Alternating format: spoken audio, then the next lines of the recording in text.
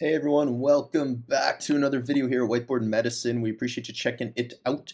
Today will be a video within our end-tidal capnography series. Specifically today we're going to be talking about cardiac arrest uh, and end-tidal capnography. Uh, chest compression adequacy, using it for, to prognosticate, using it to detect return of spontaneous circulation and much more. So stick around. Uh, this is one, if you're new to this channel, this is one of a number of videos we're coming out uh, in a series on end-tidal capnography. If you go to our Whiteboard Medicine homepage, uh, you can go to playlists and within either the pulmonology playlist or the critical care playlist, you can see we got a couple posted already. There's going to be a couple more. So we'll link this in this video's description as well, uh, but definitely check those out. We kind of got a whole series. This is the introduction one, so this will be the most helpful uh, for those people starting to understand this topic who maybe need a little more background. And then we've also covered uh, end-tidal capnography in obstruction. As a last shout out, we do have a Patreon page. We upload all the video outlines and notes, as well as weekly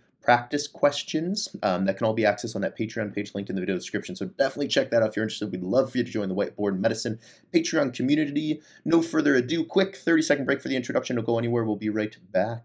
Hey everybody and welcome to Whiteboard Medicine. We appreciate you checking out the video. Here at Whiteboard Medicine, our goal is to create medical education content for all types of interested learners. That includes videos, practice questions, study resources, and much more.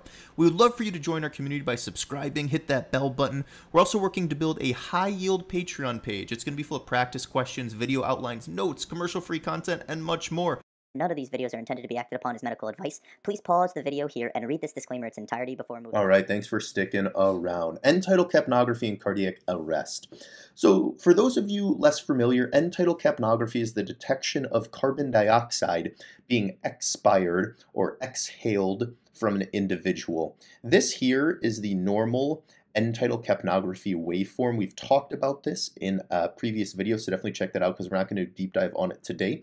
But it involves uh, expiration with four uh, different phases, one, two, three, and then zero, so zero, one, two, three, that all involve different parts of the anatomic uh, respiratory space from the trachea to the bronchi to the alveoli, uh, and then it gives us an end-tidal CO2, which is kind of the peak here, and that's what it kicks out on the monitor. So on the monitor you'll see this waveform, but you'll also on the side have an end-tidal CO2 that's kind of kicking out. It'll say 40 millimeters of mercury, and what it's detecting is this peak here, the top right corner. So this can be helpful in a lot of different clinical situations. One of the big ones um, is cardiac arrest. In fact, ILCOR uh, suggests that you do use end-tidal capnography. ILCOR is the, oh boy, International Liaison something something of critical care something something. Gosh, we should totally know what that stands for. Someone let us know in the video description. Um, but it's one of the huge international organizations on kind of resuscitation and critical illness. And the reason that it's suggested that you use it um, is that it gives you a lot of information during cardiac arrest. It can tell you about chest compression adequacy. Are you doing adequate chest compressions to perfuse the patient's body and brain best you can? What is the prognosis? Are they likely to get return of spontaneous circulation or not? And then it also can give you insight into if the patient has sustained return of spontaneous circulation or ROSC, aka their heart has restarted again. And the reason is because if you have a patient who is in cardiac arrest, their heart has stopped, they're intubated, and you have end-tidal capnography hooked up to their endotracheal tube. The things that are contributing to that end-tidal capnography is really going to be the heart's ability to deliver blood to the lungs right? Because we're going to draw a heart quick. There's a heart, not the best heart. Let's see, two lungs, one, two, trachea, bronchi. And there's blood vessels, right? So let's say you have an endotracheal tube here, and this endotracheal tube is detecting the CO2. To get the CO2 into the trachea, the, that the CO2 in the blood has to be pumped to the lungs, right? That CO2 in the blood then has to go to the alveoli and get into the alveolar space that then gets ventilated up into the bronchi, trachea, and then you detect the end-tidal CO2. So one of the big things in cardiac arrest is how good are your chest compressions? How good are you pumping the blood from the heart that is filled with CO2 to the lungs? And that's why it can give you a lot of different information on chest compression adequacy, prognosis, return of spontaneous circulation. We'll get into more of that, but it's really the perfusion component, the fact that for CO2 to be expired, exhaled from the lungs, those lungs have to have uh, CO2 delivery. They have to have perfusion, and that delivery of CO2 is based on the cardiac output, which in cardiac arrest, when your heart has stopped, is primarily associated with chest compression adequacy until your heart restarts again, right? All these things are interconnected. So, number one, chest compression adequacy. Well, what they have found is that end tidal capnography can be a reflection on lung perfusion, as we've talked about. And when a patient is in cardiac arrest, that lung perfusion, how much blood is flowing to that lungs, is based on how good your chest compressions are, right? Because the heart isn't beating on its own. The heart is stopped. It's in cardiac arrest. So what we are literally doing is, uh, we're not going to be able to probably do a good drawing of this. This is a vertebral column. Um, this here is a sternum, right? The heart sits between the vertebral column and the sternum. And what you're literally doing is you're pushing the sternum down it is then compressing the heart between the vertebral column and the sternum, and then you're releasing the sternum to then relax the heart. So when you press the sternum into the heart, it pumps the blood out. When you release it, the blood then refills passively. You're literally push compressing the heart between the sternum and the vertebral column. So how well you are doing that is going to determine how much blood is flowing to the lungs, which is then going to be reflected in your end tidal carbon dioxide, because that carbon dioxide needs to flow to the lungs to then get exhaled.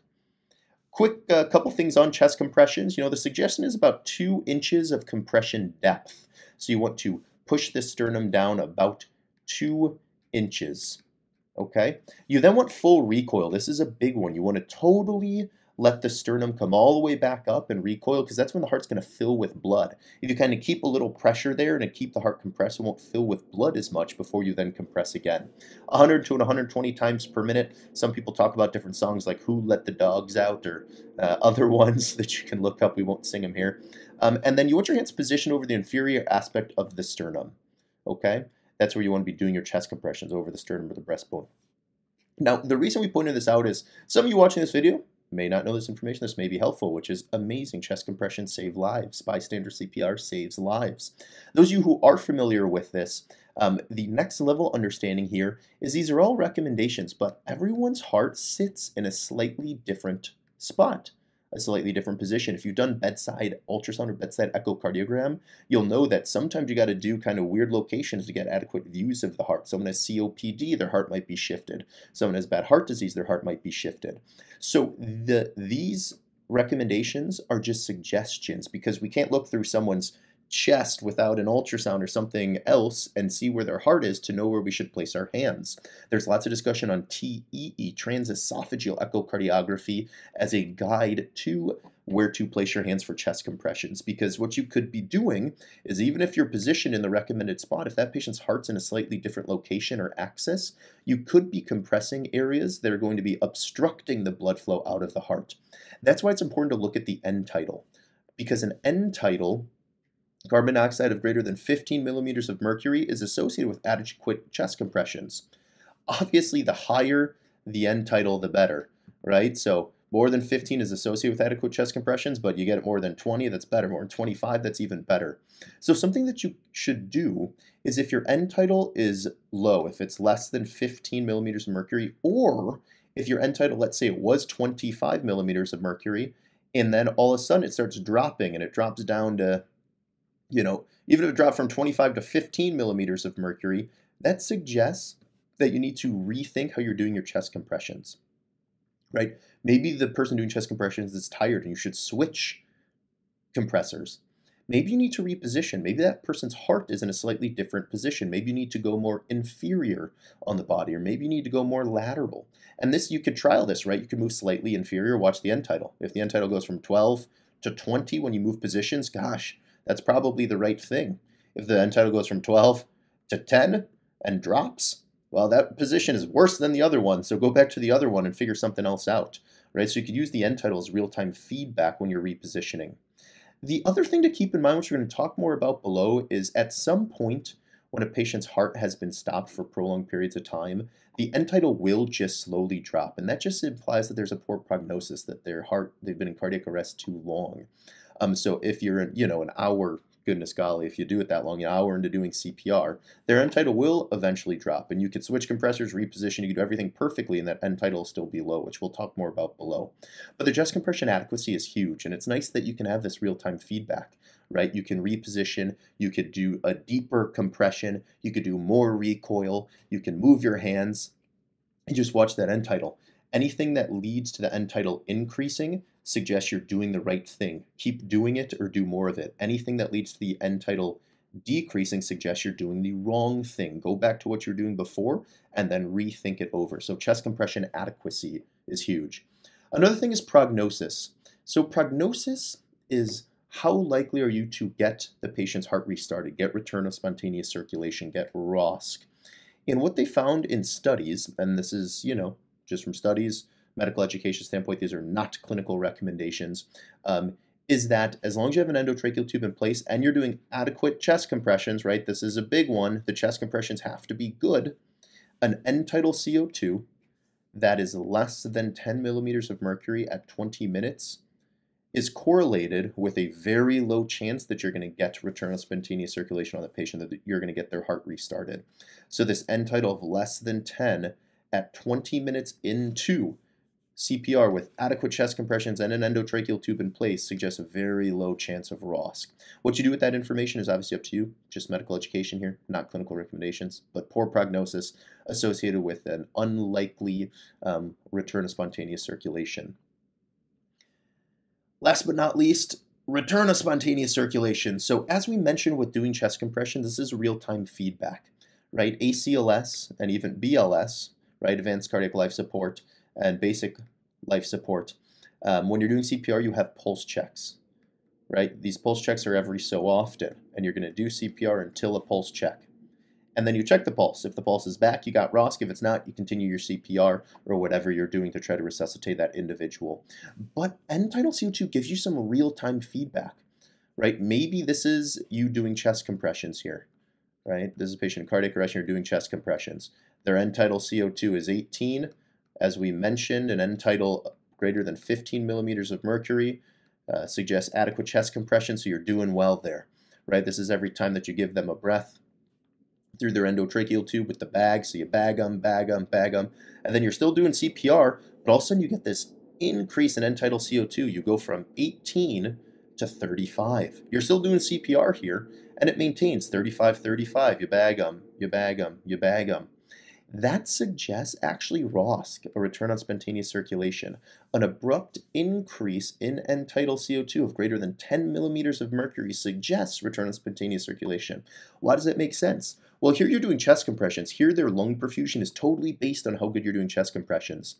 All of a sudden the end tidal jumps up by more than 10 something's changed. You're still doing the same chest compressions you were doing before, and they suggest their heart has restarted beating because their heart is always going to pump blood better than you. Well, I shouldn't say that, but almost always is going to pump blood better than you are able to pump it with chest compressions.